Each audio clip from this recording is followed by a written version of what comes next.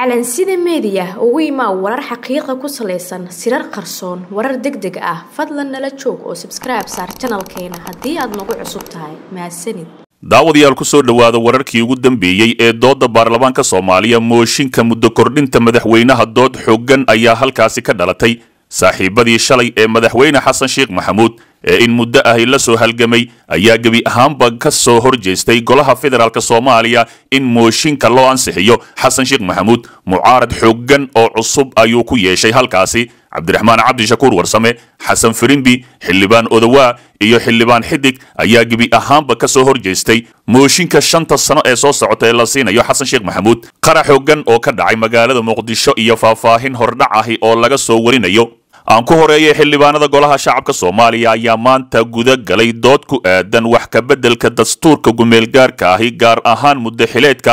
madaxweynaha iyo labada aqal oo haatan la gaarsiinayo ilaa shan sano. Xildhibaanada ayaa si weyn uga hadlay mooshinka oo soo bilowday bishii febraayo sanadkaani kaas oo loo xil saaray guddi oo horkacayo xildhibaan mahdi guuleed oo saaxiib la ahaa madaxweynihii hore soomaaliya farmaajo. Ugu horrayn guddoomiye ku-xigeenka labaad ee golaha shacabka cabdulaahi cumar abshirow oo kulankani ka hadlay ayaa meesha ka saaray in ka doodista mooshinkani uu wakhtiga ka dhacay waxaana uu tilmaamay in dooddiisa la sii wadayo inta go'aan laga gaarayo mooshinkani wakhtigiisu ma dhicin. Kalfadhigii hore ayay ahayd in la keeno laakiin waxaa ka xidhmay kalfadhigaasi sidaa daraaddeed waxaan rajaynaynaa in xildhibaanada ay ku qancaan mooshinka maanta go'aan lagama gaarayo balse waa laga sii doodi karaa ayuu sii raacay abshirow. Xildhibaan cabdiraxmaan cabdishakuur warsame oo sidoo kale ah ergega madaxweynaha ee arrimaha bini'aadinimada ayaa ka hor yimid. Mooshinkani wax looga bedelayo dastuurka kumeelgaarka ahi wuxuuna tilmaamay inuu wiiqayo dagaalka adag ee haatan lagula jiro kooxda argagixisada al-shabaab. Si weyn ayuu uga soo hor jeestay damaca saaxiibkiis madaxweyne xasan sheekh maxamuud. Mooshinkani waxaa ku jira ajandayaal lagu wiiqayo dib u dalka isaga oo dhan ha la laalo sababtoo ah muddo kororsi nafteenna halis u gashay. Suuragalna maahan in maanta shaqo laga bilaabo ayuu yidhi xildhibaan cabdiraxmaan cabdishakuur warsame sidoo kale xildhibaan xasan cabdi ismaaciil firimbi ayaa sharci darro ku tilmaamay wax ka beddelka dastuurka waxaana uu tilmaamay inuu bilaa u yahay muddo kororsi hor leh mooshinkani wax ka beddelka dastuurka sharci ma ahan. Waa xaaraan mana waafaqsana dastuurka waxaana muuqata in uu horgal u yahay. Muddo kororsi sharci darro ahi hal sano ayaa bannaanka joogay. Aniga oo muddo kororsi diidayo haddii ay daruuf keenayso waa in loo maraa. Habraaca saxda ahi ayuu isna sii raaciyey. Xildhibaan xasan firimbi oo si weyn uga soo hor jeeday madaxweynihii hore soomaaliya maxamed cabdulaahi farmaajo dhankeeda khadiijo maxamed diiriye oo xildhibaan iyo wasiir isku ah ayaa soo jeedisay in la taageero mooshinka kadibna loo codeeyo. Maanta mar haddii aad soo bandhigteen mudane guddoomiye waa sidii la rabay. Waxayna ila tahay inaan sida uu yahay aan ugu codayno ayay sii raacisay khadiijo diiriye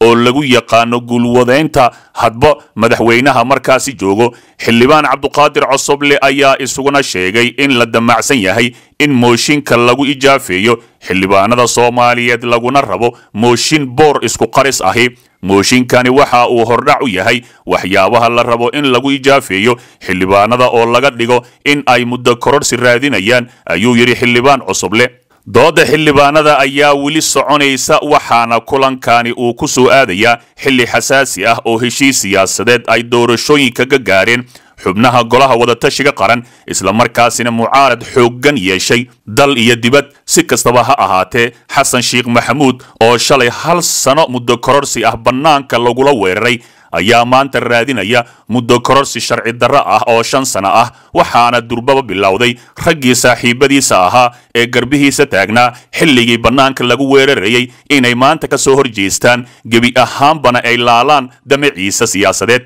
Dhinaca kale warar dheeraada ayaa ka soo baxaya khasaaraha ka dhashay qarax maanta ka dhacay gudaha magaalada muqdisho ee caasimadda soomaaliya kaas oo lagu xiray gaari nooca raaxada ahi oo ku qarxay agagaarka saldhigga waaberi qaraxa oo ahaa miino nooca baabuurta lagu dhejiyo ayaa waxaa lagu soo warramayaa in lala eegtay wiil dhallinyaro ah oo lagu magacaabo axmed garaar kaas oo sidoo kale ah xoghaynta gaarka ahi ee xildhibaan cabdiraxmaan cabdishakuur warsame. Wararka ayaa sheegaya in mas'uulkani uu dhaawac ka soo gaaray qaraxa islamarkaasina loola cararay mid ka mid ahi goobaha caafimaadka ee magaalada muqdisho. Sidoo kale waxaa burbur uu soo gaaray baabuurka uu qaraxa ku haleelay bartamaha waddada maka almukarama oo ka mid ah meelaha mashquulka badan ee caasimadda soomaaliya xaaladda ayaa haatan degan waxaana goobta gaaray ciidamo ka tirsan kuwa ammaanka soomaaliya oo howlgallo kooban ka sameeyey meesha uu qaraxa ka dhacay. Ma jiro weli wax hadalay oo ka soo baxay saraakiisha laamaha amniga iyo sidoo kale cidda sheegatay inay ka dambaysay qaraxa lala eegtay axmed garaar weerarkani ayaa ku soo aadaya iyada oo maalmihii la soo dhaafay ay deganeed xaaladda magaalada muqdisho. Marka loo eego xilliyadii hore oo ay ka dhici jireen weeraro joogto ahi si kastaba kooxda al-shabaab ayaa haatan culays xooggan soo saartay. Kadib markii ay jab xooggan kala kulantay dagaalada culus ee ka socda koonfurta iyo bartamaha soomaaliya xoghaynta gaarka ah ee xildhibaan cabdiraxmaan cabdishakuur warsame weerarkii lagu qaaday ayaa shaki badan dhalisay maadaama maanta xildhibaan cabdiraxmaan cabdishakuur warsame uu ka soo hor jeestay madaxweynihii saaxiibka la ahaa ee jagada u dhiibay islamarkaasina baarlamaanka ka hor akhriyey in mooshinka uusan soconaynin ayna sharci darro tahay dhinaca kale ra'iisul wasaaraha xukuumadda federaalk soomaaliya mudane xamse cabdi barre oo maanta shirweyne muhiim ahi ka daafuray magaalada muqdisho ayaa ka hadlay arrimo ku aadan faafinta wararka been abuurka ahi ee la xidhiidha kooxda argagixisada al-shabaab digniin culus ayuu soo saaray ra'iisul wasaare xamse ayaa shaaca ka qaaday in warar qaldan ee laga sheego ay la mid yihiin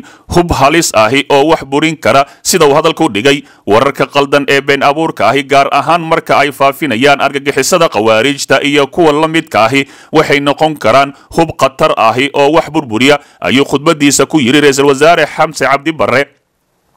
sidoo kale wuxuu sii raaciyey marka la baahiyo warar ama muuqaalo been abuur ahi bulshadeenna ay isticmaasho wararkaasi. Aan la faaf reebin waxaa si aan ku talagal ahayn u noqonaynaa wakiilada raqiiska ahi ee argagixisada oo rabta in sumcad disho dalkeena. Xamse ayaa ku taliyey in qof kasta looga baahan yahay inuu hubiyo xogta ama wararka inta uusan la wadaagin dadweynaha soomaaliyeed waxaa la yidhaahdaa inta aad noqon lahayd ruuxa ugu horreeya ee been faafiya noqon ruuxa ugu dambeeya ee runta baahiya ayuu mar kale sii raaciyey ra'iisul wasaaraha soomaaliya. Ugu dambeyntii wuxuu hoosta ka xariiqay in xukuumadda dan qaran ay qaadi doonto tallaabooyinka looga hortagayo wararka quseeya amniga guud ahaan qaranka fariintan ka soo baxday ra'iisul wasaaraha ayaa ku soo aaday xilli xasaasi ah islamarkaana ay taagan tahay dooda ka dhalatay dagaalka labaad ee al-shabaab lagu qaadayo oo u dhexeeya madaxda dowladda iyo kuwa mucaaradka oo hadallo kulul isku marinaya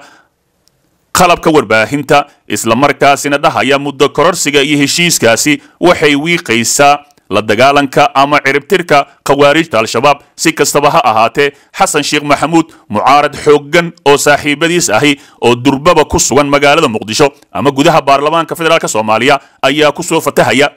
Dhegaystow ogow haddaadan xalka qayb ka noqon waxaad qayb ka tahay dhibaatada dalka